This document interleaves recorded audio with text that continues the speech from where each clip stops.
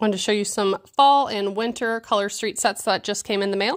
These two are kind of fall slash Halloween. The orange one is called Pumpkin Spice and Everything Nice. And the black glitter is called Loch Ness Monstrous. And these will be my Christmas nails that I wear in December.